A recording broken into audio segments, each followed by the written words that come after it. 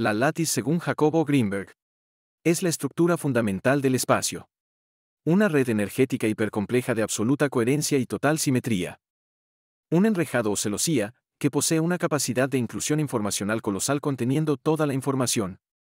Esta matriz de interrelaciones que la ciencia también ha denominado como campo cuántico. Es un holograma, o sea una imagen tridimensional que surge como consecuencia de la interferencia de dos haces de luz. La característica principal es que la información de la totalidad de la imagen está en cada uno de sus puntos, y esto según la teoría sintérgica es una de las propiedades del espacio. El cerebro interactúa con este campo, y a partir de esto como una resultante final del procesamiento cerebral, aparece la realidad perceptual tal y como la conocemos.